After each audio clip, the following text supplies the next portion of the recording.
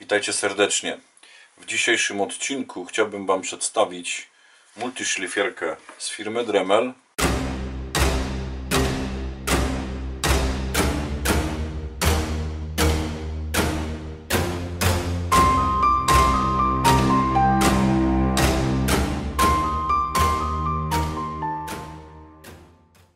Co ja Wam dzisiaj chciałbym pokazać? Chciałbym Wam pokrótce przedstawić ten model. Z czym ten model się boryka, jeżeli chodzi o 3000, jakie są jego plusy, jakie są jego minusy. E, To jest w zasadzie jeden z najtańszych modeli Dremela na rynku, bo można go dostać już gdzieś za około 199 zł.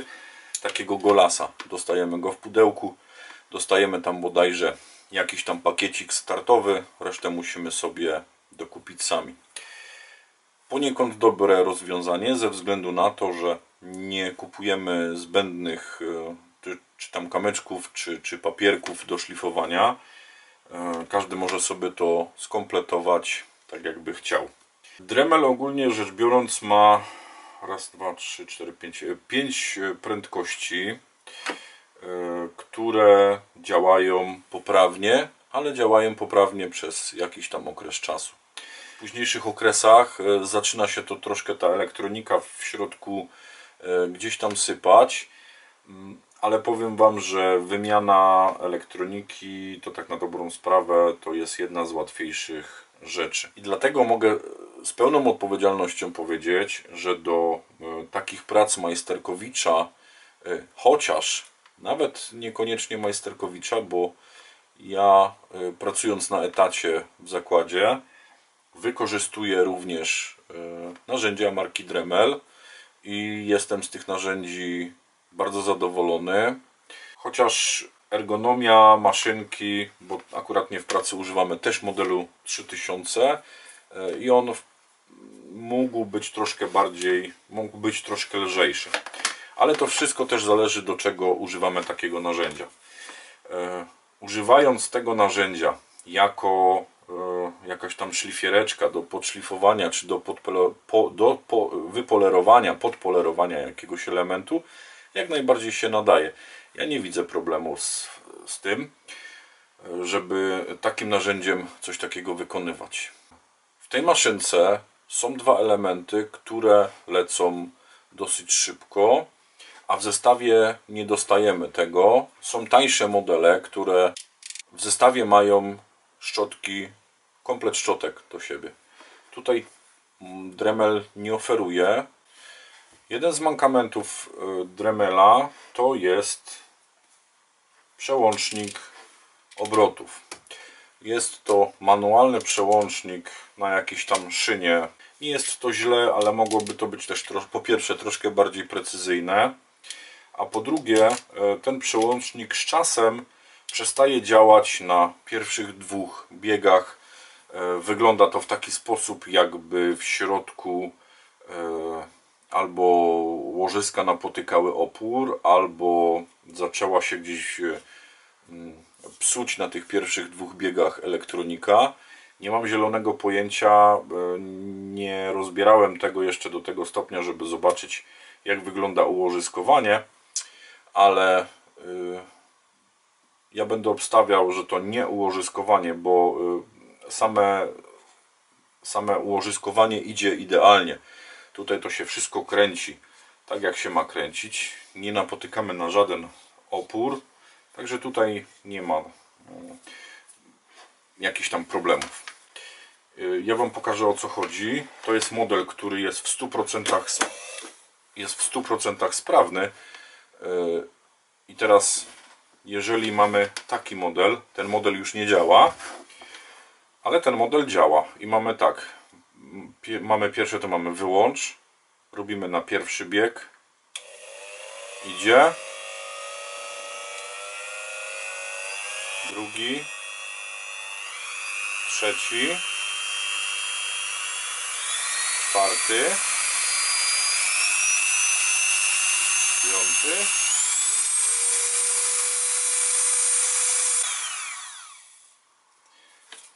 Ta maszynka działa i ma się bardzo dobrze.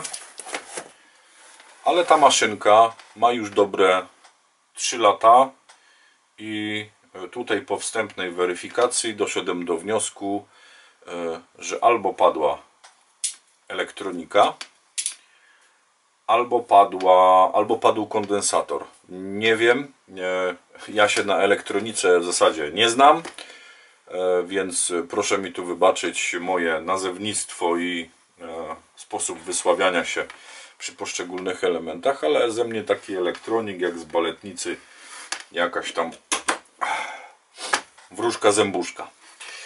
E, rozbierzemy sobie tego grata. On nie działa, żeby nie... Mamy załączone. Nie działa. Przełączę do pierwszego, żeby nie było, że fake. Nie działa. Nie kręci. Teraz włożę tak.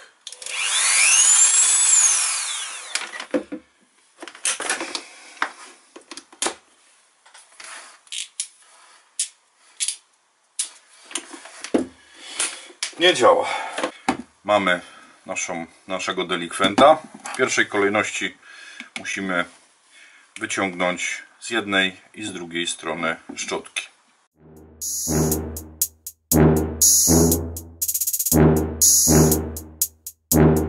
Szczotki jeszcze są, więc teraz ja sobie te szczotki gdzieś tutaj odstawię na bok, żeby mi się nie zgubiły, żeby mi gdzieś nie zrzucił. I w następnej kolejności musimy odkręcić tutaj cztery wkręty.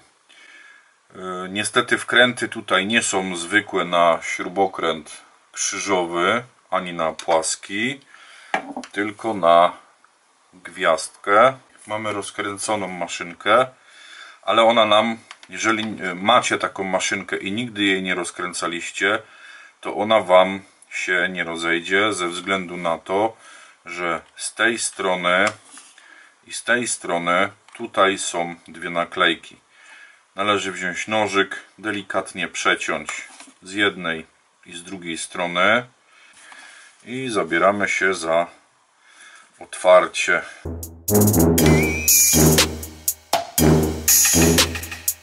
Tadam! I to jest nasza maszynka od środka. Tak się prezentuje nasz dremelek. Teoretycznie nic nie śmierdzi z niej. Z tego co widzę, to tutaj jest tak. O, mamy jeszcze taki jeden element. I z tej strony mamy drugi element.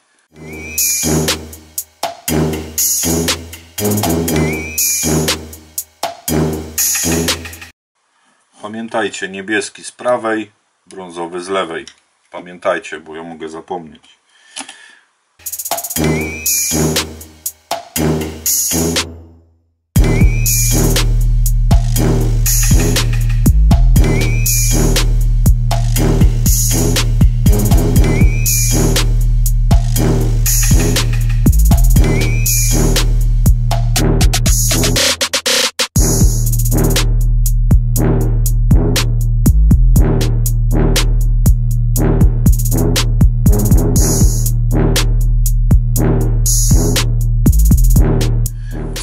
Tej strony podważyć troszkę mocniej i wtedy nam to schodzi.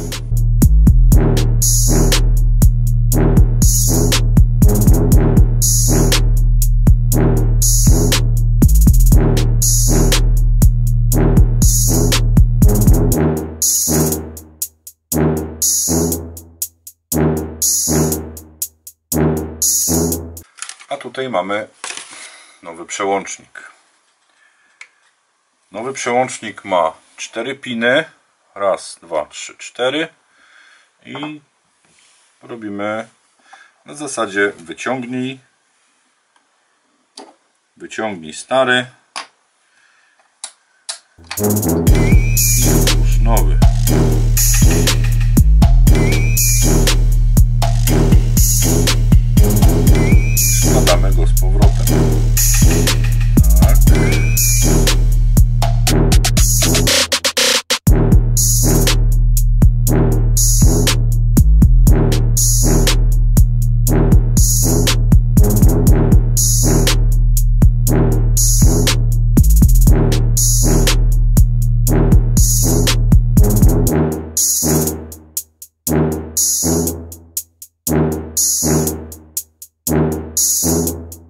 Teraz jest dobrze. Więc mogę zacząć składać. Tak jak mówiłem, zapomniałem z której strony był niebieski. Musiałem sobie przejrzeć wideo. Także składamy niebieski z prawej.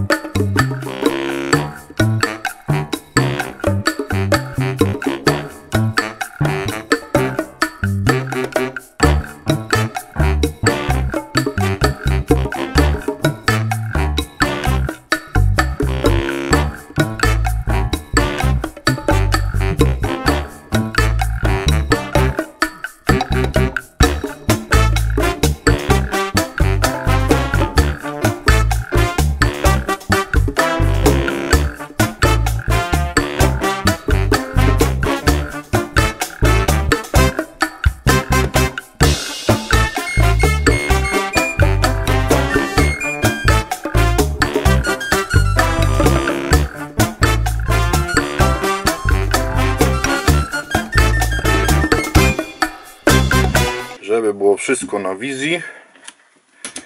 Ciach, ciach.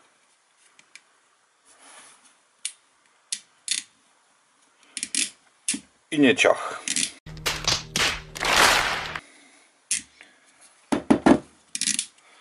Jeszcze zanim rozbiorę, to skontroluję jeszcze raz szczotki, czy one tam do porządku sobie siadły.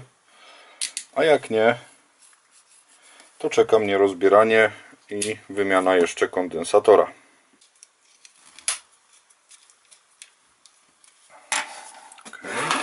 Jeszcze raz.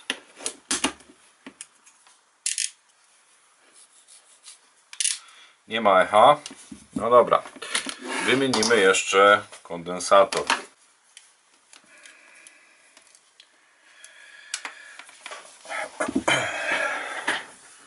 Ok. Maszynkę mam już poskładaną po raz drugi. Tu mamy stare części. To jest kondensator. Tak się to nazywa w instrukcji części zamiennych. A to jest jako przełącznik. Także cóż, ja zapinam zapinam kabelek do prądu.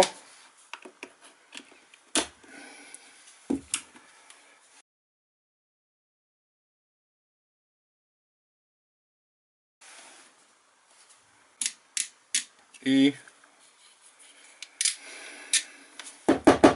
dalej nie żyje.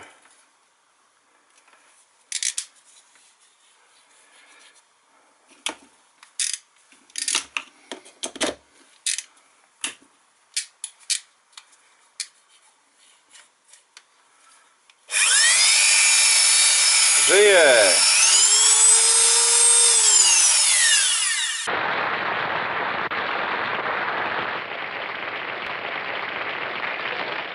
Jak widzieliście, w dosyć prosty sposób można naprawić sobie Dremela. Yy, W katalogu części, które można wpisać, które można znaleźć w internecie, wpisując e, katalog części Dremel 3000, e, powinno się Wam wyjaśnić, gdzie tych części szukać. Mimo tego, że maszynka uległa uszkodzeniu. E, Udało mi się zorganizować części. E, Nie było z tym najmniejszego problemu. E, I maszynka dostała dostała drugie życie. Ja jestem z tego bardzo, powodu bardzo, bardzo zadowolony. Mi się bardzo miło pracuje tą maszynką. Z tym, że trzeba rozgraniczyć, do czego tej maszynki używamy. E, Nie będziemy jej używać do długiego polerowania bądź grawerowania, bo maszynka jest za ciężka. Tu naprawdę nie ma się co e, czarować. Maszynka na dłuższą metę. e, Bo ta akurat nie, nie ma tutaj tego kółeczka. Gdzieś, gdzieś posiałem, gdzieś tu się wala, ale maszynka ma tak. Po pierwsze ma taki uchwyt, dosyć fajny, dosyć przyjemny w złapaniu. Można go trzymać w zasadzie jak długopis. To jest pierwsza rzecz. Można do tego użyć wałka giętkiego, który można dokupić e, bądź to osobno, bądź w zestawie, w zależności który taki zestaw sobie wybierzemy. Następną rzeczą jest to, że do Dremela są jeszcze fajne przystawki, żeby zrobić z tego frezarkę górnowrzecionową. Wspominałem w ostatnim filmie o frezach e, do właśnie Dremelka. Tak jak e, wspomniałem na samym początku, będziecie mi może zarzucali, że e, ja będę zachwalał te narzędzia z Dremela ze względu na to, że dostałem od Dremela do testów. Są narzędzia, które są ok, a są narzędzia, które mi się troszkę mniej podobają. E, tak jak przykładowo ta maszynka. Ona jest ok, ale mi przeszkadza kilka rzeczy. Właśnie e, waga. Mm, niespecjalnie ona e, ona tak współpracuje z przewodem giętkim, ale ja nie lubię katować narzędzi, jeżeli chodzi o podpinanie jeszcze jakichś takich elementów zewnętrznych. Przewód giętki jest dosyć długi, mm, to jest na plus. Dosyć dosyć mocno sobie potrafi poradzić z obciążeniem ta maszyna, ale ona się dużo mocniej grzeje. I jeżeli mamy naprawdę coś takiego do grawerowania bądź do polerowania, możemy użyć innego urządzenia, też przykładowo z firmy Dremel. E, mam taką maszynkę, e, jest to Dremel Stylo. Jest to bardzo malutki sprzęt, i powiem Wam szczerze, że jestem z niego bardzo zadowolony. Ja Wam pokażę.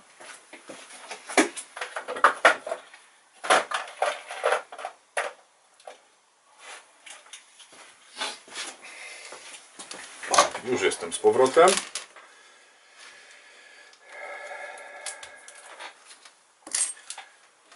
Jest to taki malutki sprzęt. I teraz raz, dwa, trzy piszemy w komentarzach, czy chcecie omówienie tego, tego, tego narzędzia, tego elektronarzędzia. Jeżeli tak, piszcie, to zrobimy. Tu się nic nie zepsuło, więc nie będzie co wymieniać. Także tutaj mogę Wam zrobić, a tu Wam teraz tak tylko na zachętę pokazałem takie fajne narzędzie, które również posiadam w swojej ofercie warsztatowej. To z mojej strony jest wszystko. Ja życzę Wam e, miłego dnia. Nie będę mówił tam popołudnia czy wieczora, bo e, różnie będzie się to oglądać. Mm, bez pitolenia. Olo 76. Pozdro. E, łapkujcie, lajkujcie, subskrybujcie. Zapraszam na grupy, na Instagrama i gdzie tam jeszcze chcecie. Wszystko macie w opisie pod filmem. Pozdro, nara, do następnego bez pitolenia. Narka. Siemka. I co tam jeszcze? Ja mam części wymienione. Jo, i teraz mogę sobie normalnie jechać tak, popatrzcie, tak. Ciach.